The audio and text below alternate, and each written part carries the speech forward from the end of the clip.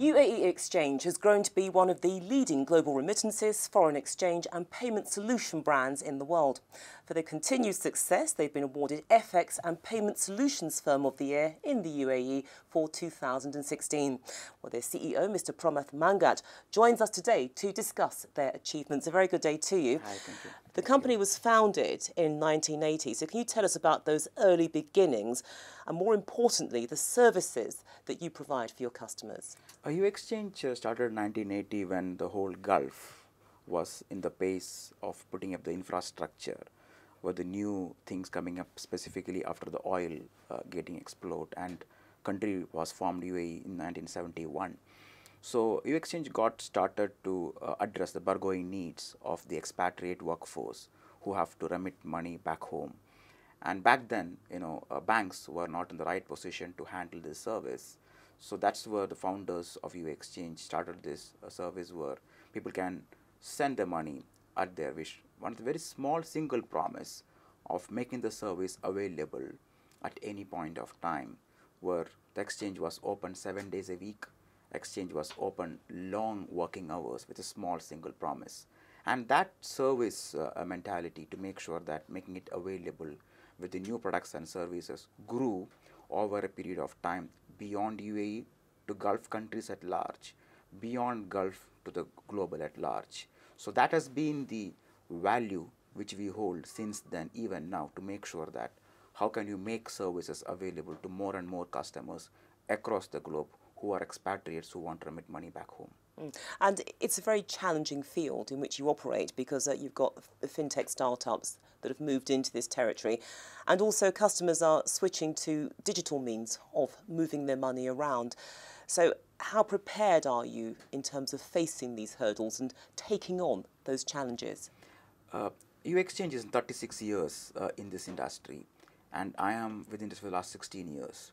So I've seen technology has always been part and parcel of this industry. We can't, at times, we get confused. Are we a technology company or a money transfer company? But with the new fintech or the digital that we hear about, what has happened is that the adoption or the pace of adopting technology into this has been accelerated. So we have been always in the forefront, you know, so we are a channel agnostic uh, player in terms of offering it. We source transaction from stores, we source transactions through online, through mobile apps, through kiosks. We distribute it uh, across in different ways. So it's not that we, we take a stand that we only offer services through the stores. The digital for us, the digital for us is a newer way of doing things. It could be the way we source the transaction. It could be the way we process it. it the way it could be we distribute the payments. So we are in the forefront. We work with uh, digital players a lot.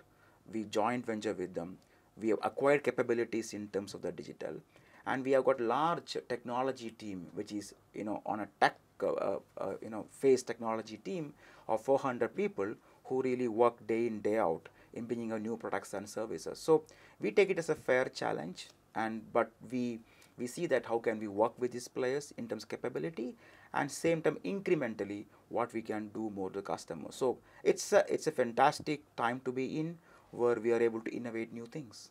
A changing field and one that doesn't intimidate you. You're not daunted by the challenge. It sounds as if you relish it. Yeah, that has been the thing. If, if I want to bring an example, till 1995, whenever we do a transaction, it takes seven working days to put across the payment to the beneficiary.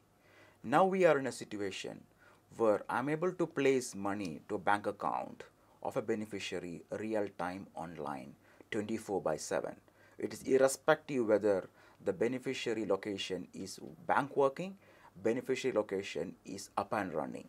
So technology has democratized this, technology has reduced the cost, technology has helped us to take services to many more people. So we embrace technology with the, you know with open uh, open hand and we have adopted that because it has helped us to grow the business.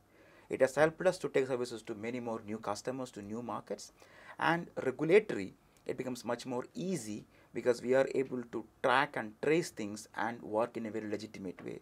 So we see a lot of opportunities and it's an opportunity for us to offer more services beyond remittances like microcredit, uh, bill pays or any kind of payment services the customers would like to avail from us. You mentioned there the word regulatory, which moves quite neatly into another area that I'd like to explore with you because you operate the business in multiple markets and that does mean complex regulations. So how do you navigate that and how do you see the market evolving? Because these regulations will change as that demand grows. Yeah, as a, as a group, UAE Exchange currently operates in 29 markets.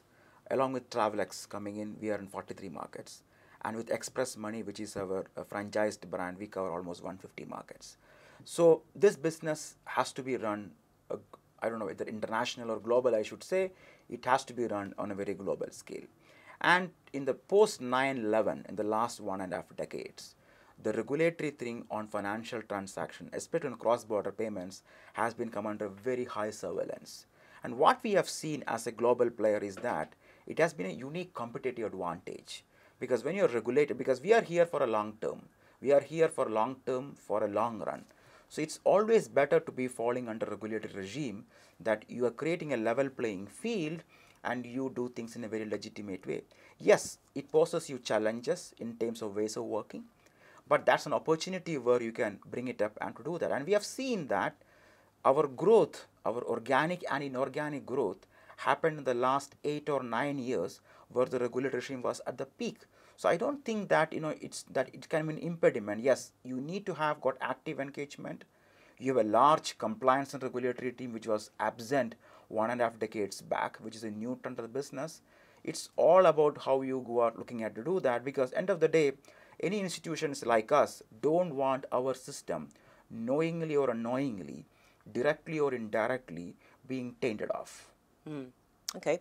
And in terms of your customer centric approach, it seems to be driven by three key principles people, product, and process. The business is rolled out around the world. So, how do you ensure that you maintain that standard so that you keep your customers with you? So, when you look at our brand UAE Exchange, you see a very punchy uh, tagline called service is our currency and we really stand for that and that's where customer centricity has always been the core because you know we are a retail brand and you know we we make we make we, we make our flows with millions of customers coming and endorsing services of us. And customer centricity is a very key factor because we look at the business we look at the value that we create for the business we look at the service that we create business for millions of customers who comes and serve with us. And for us that is why we want to bring into three buckets of people products and services so customer centricity is not alone for the frontliners who come in touch with the customer. It starts from the CEO, it starts the leadership team, it's even go to the back end, somebody who is processing a transaction, somebody in legal, somebody in finance, somebody in compliance, including the frontliners. Because whatever we do, what we make sure is that any improvisation or any new change, be it policy, be it processes, if it is not adding value for the customer, it's waste for us. And that is the kind of principle that we drive internally. So, for every decision that we make, we spend one extra minute, every one of us, to make sure that what does it mean for the customer. We put that empathetic feeling that whatever we do, is it helping the customer or not. And it has helped us because in a culture, you cannot you cannot create a culture you cannot discover the culture by practicing it again and again and what i've seen is that when you grow across the globe when you have a value, you demonstrate the value in a different way, but keeping the value across the globe has been the same. I don't see any difference when you're operating in Middle East or in Africa or in Asia or in Pacific or in Europe or in Americas. Value everyone has is same. The way you demonstrate only it differs. Mm. And of course, the culmination of this is the award that I referred to in my introduction, FX and Payment Solutions Firm of the Year. So for a company of your size, your heft, what does that mean to you? I think always, you know, recognition uh, is always an inspiration. You know, like, you know, you, you feel that, okay, you get a pat on your back. But same time, one should be humility have enough to make sure that you make much responsible for that. You have to carry on this baton and make sure that you continue to deliver that. And, you know, it's, it's of course an inspiration for us. You know, we feel motivated that we can do many more things. And also a reminder call that, you know, people see value when you do right things consistently and it's a good message for us that we are here for a long term And these recognitions are very important and make us responsible to take it forward. So 2016 has been a very good year. Let's project into the future. You strike me as a person who never settles down. You want to continually raise your game. What are your aspirations for 2017?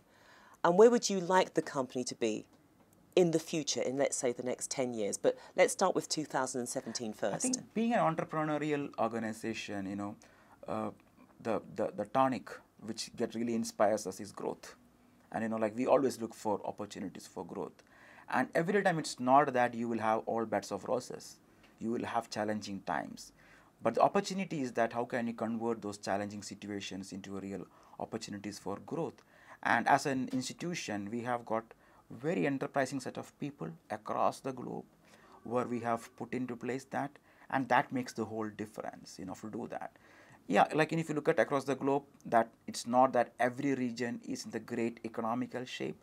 There are some regions which is not in great economical shape but there are some markets which is in great economical shape. So being a global company you have that advantage to play that. In some markets you have some markets you don't. But again those markets which economically not in great shape you will have to recraft. You have to find newer ways of doing things out of the box. So 2017 you know from 15 onwards been driving agenda on digitalization. That continues to be our growth agenda for it. You know we have bring in a lot of services automate lot of processes which continues to be the agenda for 2017 we will expand to new markets. 16 we entered some of the new markets in asia like singapore thailand which was not there earlier for us so those markets will continue to have a growth and some of the big markets like us china and india will be our continuous growth story going forward as well so good times ahead. We're hoping for the best. Excellent. Promoth Manghat, thank you so much and good luck with your ventures. Thank, thank you so much. Thank you. Thank you. Mr. Promoth Manghat, on behalf of the European, I congratulate you on your success. Thank you so much, Dylan. Thank you so much. It's an honor. Thank you.